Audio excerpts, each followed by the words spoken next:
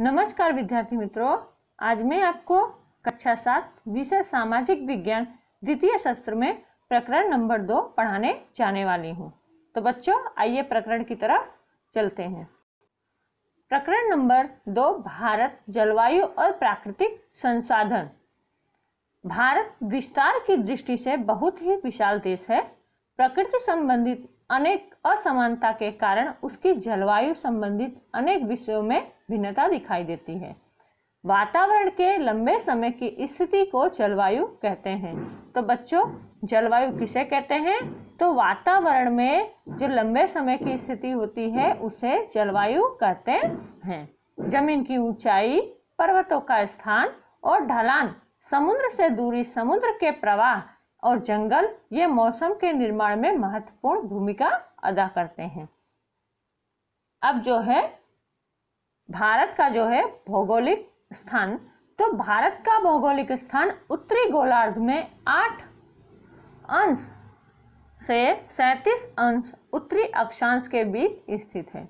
देश के मध्य भाग में या मध्य भाग से कर्क वृत्त गुजरता है। इस कारण उत्तर भारत में ठंडी और मध्य भारत में गर्मी रहती है। देश के कुछ स्थलीय समुद्री किनारे से लगभग 1500 किमी दूर से भी दूर स्थित है। इस कारण यहाँ ठंडी में अत्यधिक ठंडी और गर्मी में अत्यधिक गर्मी पड़ती है। परंतु जो स्थल ऊंचाई पर स्थित है, वहाँ का वातावरण ठंडा रहता है। जैसे कि उदाहरण के तौर पे, उदाहरण के तौर पे श्रीनगर और मनाली। ये कैसे प्रदेश है बच्चों? तो ये प्रदेश जो है, जैसे कि हमने पढ़ा कि स्थल की ऊंचाई पर स्थित हो। ऐसे प्रदेश में वातावरण ठंडा होता है। भारत में मौसमी हवाओं के कारण वर्षा होती है। यह हवाएँ बारह महीने एक समान और एक दिशा में नहीं बहती, इसलिए सभी जगह पर एक समान वर्षा नहीं होती। मेघालय, असम में अत्यधिक वर्षा होती है, जबकि राजस्थान के भरू स्थलीय प्रदेशों में कम वर्षा होती है। दक्षिण भारत के तीनों तरफ़ समुद्र है। इससे किनारे के आसपास ठंडी और गर्मी कम पड़ती है। यहाँ का वातावरण सम है। हिमालय और पूर्व की गिरी श्रृंखलाएँ नमी युक्त हवाओं को रोकती है। इस कारण मेघालय और असम में अधिक ठंडी होती है। मौसम के अनुसार बदलती हवाएँ भारत के ऋतु चक्र की खास विशेषता है। भारत में तीन ऋतुओं का अनुभव होता है। कौन कौन सी? ठंडी, गर्मी और बरसात। तो ठंडी का जो अनुभव होता है, उसके बारे में हम पढ़ेंगे।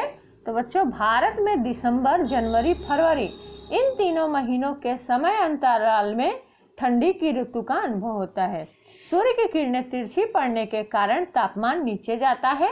उत्तर के वायव्य भारत में शिमला और दार्जिलिंग जैसे प्रदेशों में अत्यधिक ठंडी पड़ती है। कई बार तापमान पाँच डिग्री सेल्सियस से भी नीचे चला जाता है और वहाँ आए दिन हिम वर्षा भी होती है।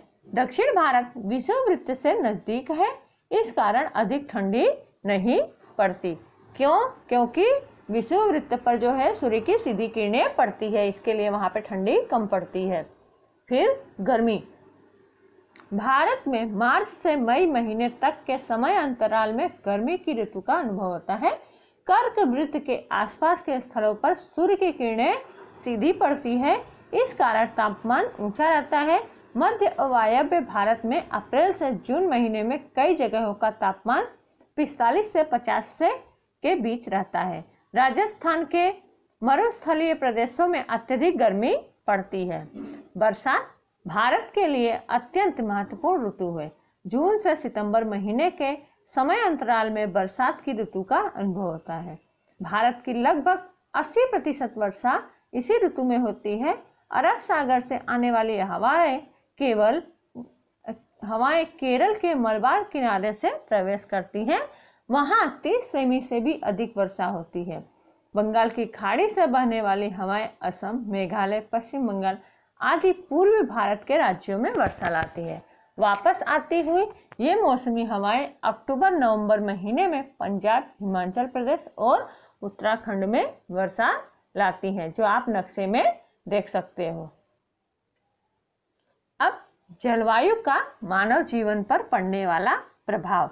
तो बच्चों, जलवायु का मनुष्य के जीवन पर बड़ा प्रभाव पड़ता है।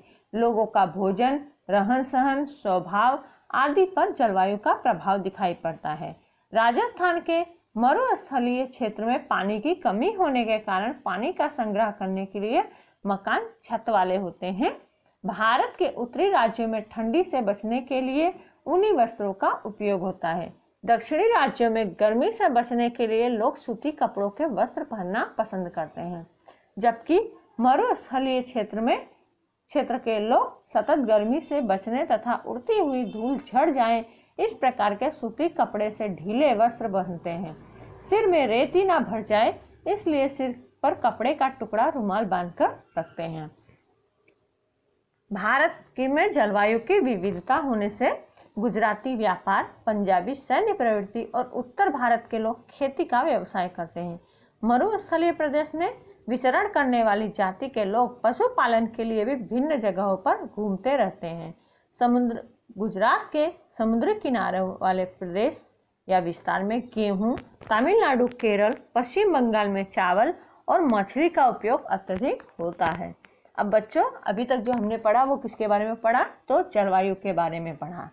तो अब जो है, हम संसाधन संसाधन अर्थात एक प्रकार की संपत्ति, प्राकृतिक संसाधन अर्थात कुदरती संपत्ति, जो हमें बिना मूल्य से, कुदरत से प्राप्त हुई है। तो सबसे पहले हमें संसाधन का अर्थ वो जानने की ज़रूरत है। तो बच्चों, यहाँ निश्चित उद्देश्य की पूर्ति के लिए जो भी उपाय काम में लिए जाते हैं, वो संसाधन है। मनुष्य द्वारा संग्रहित और विश्वसनीय वस्तुओं या पदार्थ के गुण, क्षमता और कार्य जो मनुष्य की संपत्ति बन जाती है, उसे संसाधन कहा जाता है। यहाँ स्वयं मनुष्य द्वारा लाभ उठाने की क्षमता और स्वयं को मुसीबतों से बाहर निकालने की क्षमता का समावेश होता है। इस प्रकार किसी भी ऋतु का या किसी भी वस्तु का मनुष्य की आवश्यकता पूर्ण करने के उद्देश्य से उपयोग करने पर संसाधन बन जाता है। प्राग ऐतिहासिक काल में मनुष्य को धरती के नीचे छिपे खजाने के बारे में जानकारी नहीं थी। वह उस, उसका उपयोग करना भी नहीं जानता था। इसके लिए वह संसाधन नहीं था। किंतु आधुनिक मनुष्य के लिए ये पदार्थ बहुत उपयोगी है। ये पदार्थ उनके लाभ तथा उनकी आवश्यकताओं की संतुष्टि का कार्य करते हैं। इसलिए उनके लिए वह संसाधन है। अब प्राकृतिक संसाधन किसे कहते हैं? तो बच्चों पृथ्वी पर प्राकृतिक रूप से अपने आप सर्जित आसानी से मिल जाने वाले और मनुष्य के लिए उपयोग किए जाने वाले पदार्थों को प्राकृतिक संसाधन कहते हैं। इन संसाधनों के तीन प्रकार हैं, जल संसाधन, खनिज संसाधन और भूमि संसाधन। तो सबसे पहले जल संसाधन। तो उसमें जो है बच्चों, भारत के जल संसाधन में नदियाँ, झील, सागर का समावेश होता है। भारत की नदियों को उनकी उत्पत्ति स्वरूप और विशेषता के आधार पर दो भागों में बांटा गया है। उत्तर भारत की नदियाँ और दक्षिण भारत की नदियाँ। अब उत्तर भारत की नदियों में किसका किसका समावेश होता है? तो सिंधु, गंगा और ब्रह्मपुत्र है। ये नदियों में बारह महीने पानी रहता है। गंगा नदी को भागीरथी भी कहते हैं। गंगा नदी ने अपने मुहाने पर उपजाऊ डेल्टा की रचना की है। गंगा और ब्रह्मपुत्र जल मार्ग के लिए उपयोगी है। इसके उपरांत झेलम, चिनाब, रावी, बियास, सतलज जैसी नदियाँ बहती हैं। बिहार में कोसी नदी में प्रतिवर्ष भयंकर बाढ़ आती है। वह बिहार के काफ़ी विशाल विस्तारों का नुकसान करती है। ये जो नक्शा है बच्चों, इसमें किसका नदियाँ और झील जो है वो दर्शाया गया है। अब जो है दक्षिण भारत की नदियाँ तो दक्षिण भारत की नदियों में किसका किसका समावेश होता है?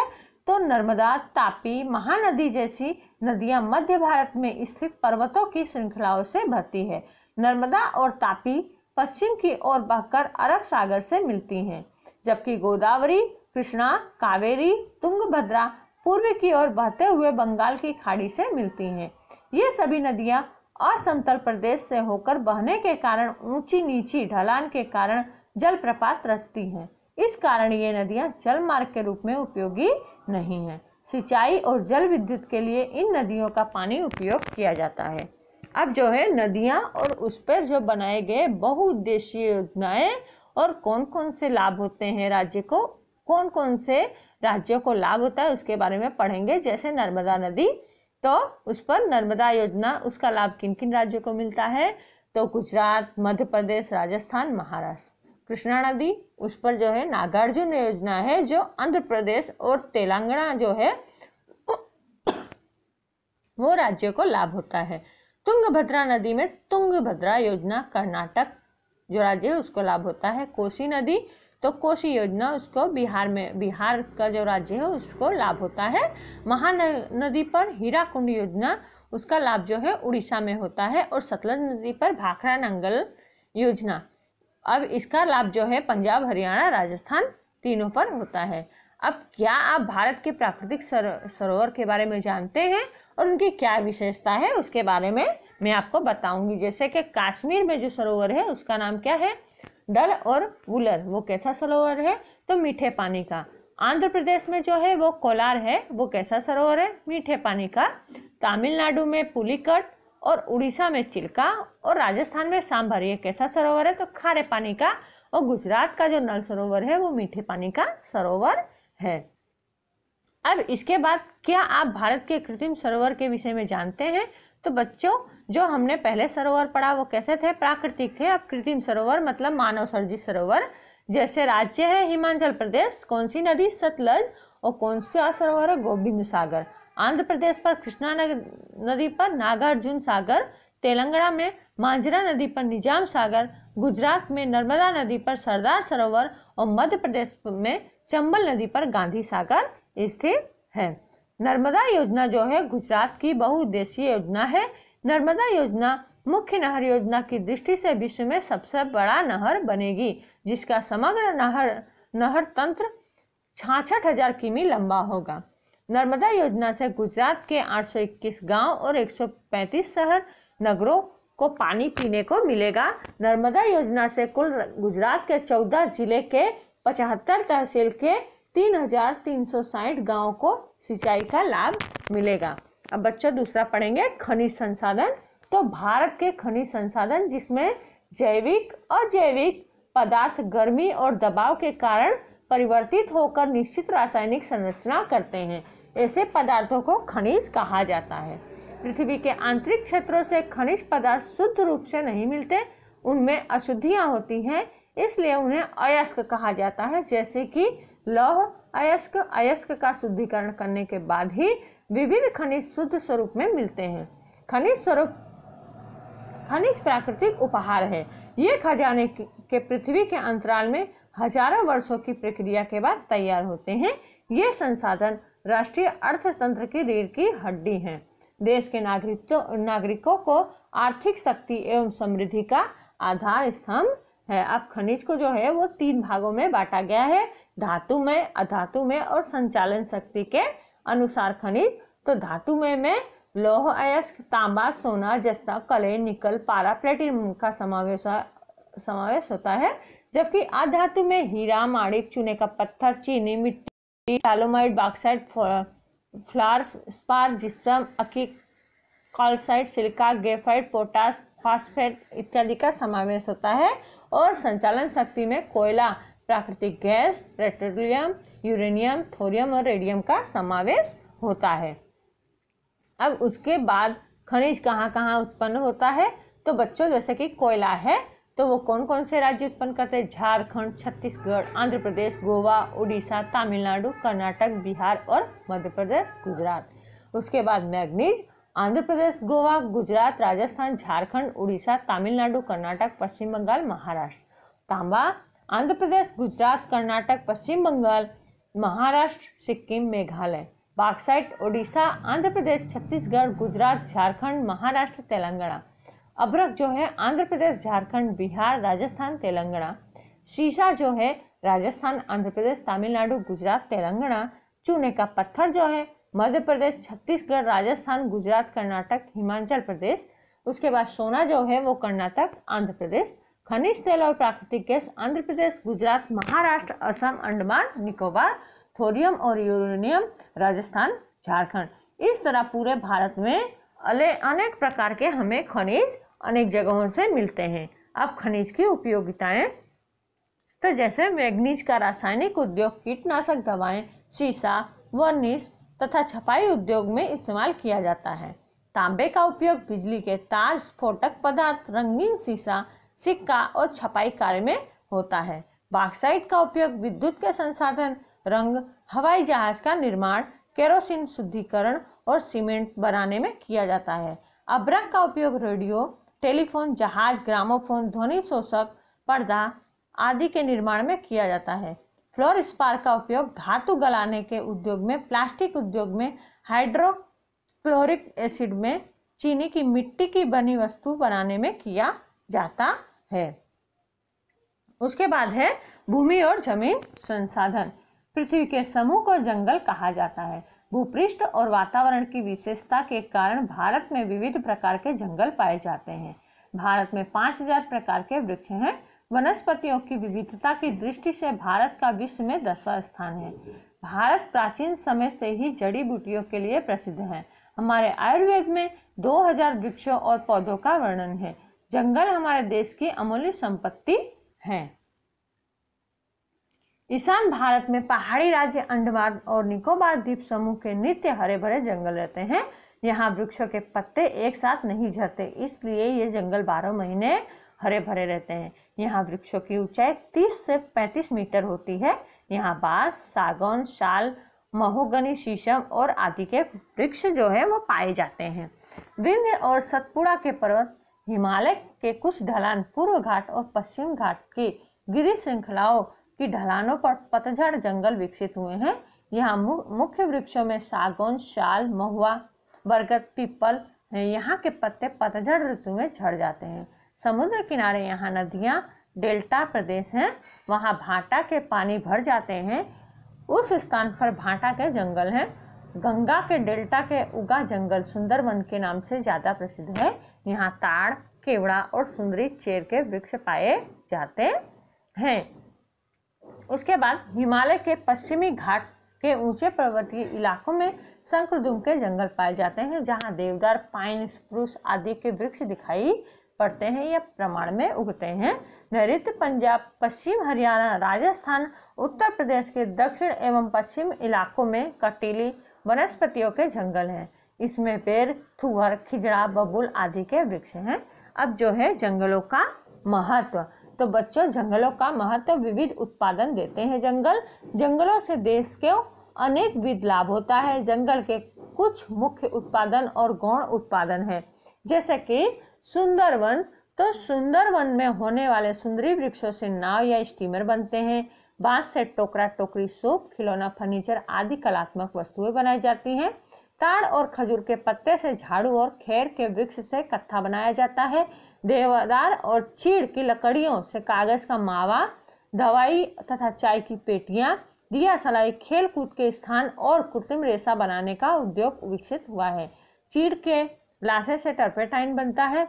लाख का उपयोग वर्निश, छपाई कार्य की स्याही, विद्युत के कुछ साधन और ग्रामोफोन बनाने में किया जाता है। अब जो है जंगलों का संवर्धन। वन और संरक्षण और संवर्धन के लिए निम्नलिखित बातों को ध्यान में रखना चाहिए। बेहिसाब होने वाले वृक्षों के छेदन पर अंकुश रखना चाहिए। वृक्षों को गैर कानूनी रूप से काटने वाले व्यक्ति को कड़ी सजा देनी चाहिए। प्रति ज़मीन में वृक्षारोपण कार्य देना चाहिए। सौर ऊर्जा, बायोगैस, पवन ऊर्जा आदि तथा अन्य ऊर्जा स्रोतों का अधिक से अधिक उपयोग करना चाहिए। इसके लिए नागरिकों नागरिकों को जागृत करने एवं उसके लिए आवश्यक सहायता देनी चाहिए। जंगलों का वैज्ञानिक रूप से विकास करने के लिए अधिक मात्रा में जंगल की जंगल की संस्थाओं की स्थापना करनी चाहिए। वन संरक्षण के लिए इस प्रकार का वातावरण तैयार करना चाहिए कि प्रत्येक भारतवासी अपना फ़र्ज़ अदा करे। अब उसके बाद आएगा वन्य जीव संसाधन।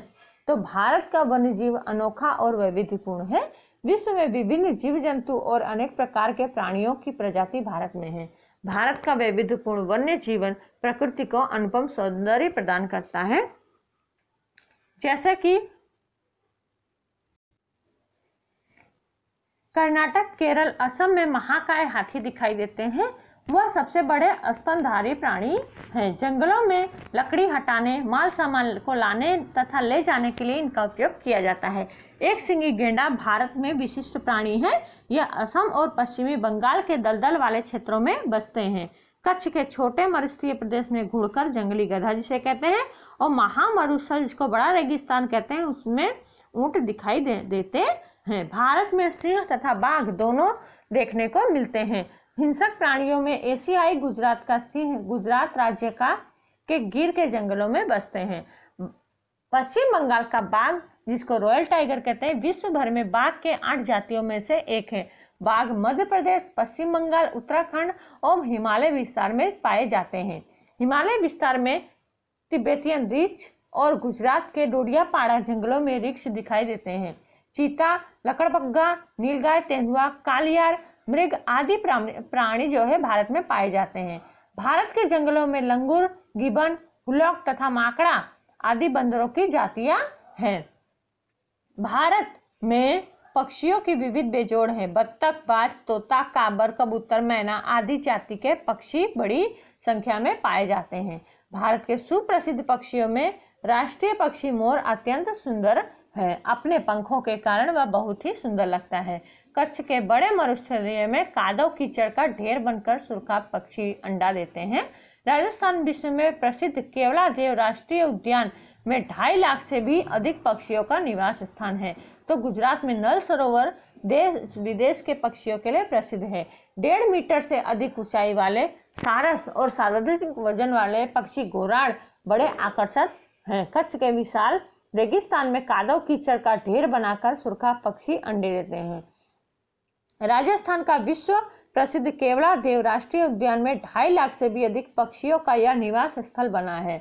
तो गुजरात में नल सरोवर देश विदेश के पक्षियों के लिए प्रसिद्ध अभ्यारण्य है।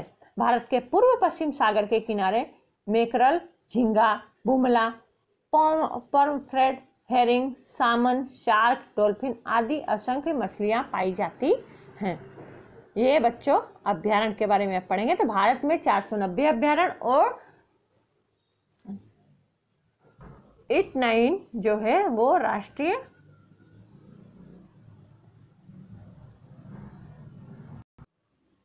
नवासी जो है वो राष्ट्रीय उद्यान है, जिसमें से कुछ मुख्य राष्ट्रीय उद्यान जो है, जैसे कांजीरंगा वो कहाँ है? आसाम में, उसमें कौन कौन से प्राणी पाए जाते हैं? तो गेंडा, जंगली भैंस, हिरण। थार का मरुस्थल, राजस्थान। इसमें मरुस्थल का स्थान और मरुस्थलीय बिल्ली पाई जाती। है कान्हा जो मध्य प्रदेश में है, वहाँ कौन से प्राणी पाए जाते हैं? तो बाघ और साबर। गिर राष्ट्रीय उद्यान में तो उसमें जो है, सिंह और चीता पाए जाते हैं। और कौन से राज्य में है? तो गुजरात में। गुजरात में एक दूसरा भी अभ्यारण्य है वेरावदर राष्ट्रीय अभ्यारण्य जिसमें कालियर खड़मोड़ जैसे प्राणी पाए जाते हैं। केवला देव राजस्थान में है, उसमें विविध प्रकार के पक्षी पाए जाते हैं। बंदीपुर, कर्नाटक हाथी रिक्स सुअर, जंगली बिल्ली के लिए प्रसिद्ध है। दती दची गाँव जो है वो जम्मू और कश्मीर में है, जिसमें कस्तूरी मृग पाए जाते हैं। जिम कारपेट उत्तराखंड, उत्तरांचल में है, जहाँ बाघ, हाथी, चीता, हिरण जैसे प्राणी पाए जाते हैं। अब इसके बाद प्राकृतिक संसाधन का संरक्षण और विवेकपूर्ण उपयोग। तो पानी एक महत्वपूर्ण राष्ट्रीय प्राकृतिक संसाधन है।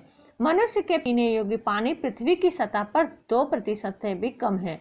अधिकतर उद्योग प्रदूषित पानी और जहरीले ठोस कचरे को छोड़ने के कारण भूगर्भ में पानी में अत्यधिक प्रदूषण हुआ है, जिससे जीव सृष्टि और पर्यावरण के लिए गंभीर खतरा पैदा हुआ है। उद्योगों के प्रसूदित प्रदूषित पानी का वैकल्पिक उपयोग करना चाहिए। विद्यालय, महाविद्यालय के पाठ्यक्रम में वन विकास को प्रधानता देनी चाहिए। आग के कारण जंगलों का विनाश ना हो, इसके लिए सावधानी रखनी चाहिए। खनिज प्रकृति का एक उपहार है, उसका विवेकपूर्ण उपयोग करना चाहिए। खनिज संरक्षण का विकल्प ढूंढना चाहिए और खनिज पदार्थों को घूम फिर कर अनेक बार उपयोग किया जा सके ऐसी प्रक्रिया को बढ़ावा देना चाहिए। फिर उसके बाद है, जंगलों के विनाश के कारण अन्य प्राणियों का जीवन संकट में है। कुछ प्रजातियाँ कुछ विस्तारों में लुप्त हो गई हैं। पशु पक्षियों के मांस, पंख, हड्डियाँ सिंह दांत, त्वचा इत्यादि को प्राप्त करने के लिए उनका शिकार किया जाता है। इसके लिए वन्य प्राणी एवं पक्षियों के होने वाले गैर कानूनी व्यापार पर नियंत्रण रखना चाहिए। देश के नागरिकों को पर्यावरण वन्य भूमि और वन्य जीवों के महत्व के विषय में जानकारी देनी चाहिए और अभ्यारण्य एवं राष्ट्रीय उद्यान का अधिक विकास करना चाहिए। प्राकृतिक शिक्षण शिविर द्वारा नागरिकों को वन्य जीव के बारे में सजगता लाने का प्रयास करना चाहिए। और यहाँ पर जो है, ये पार्ट पूरा होता है।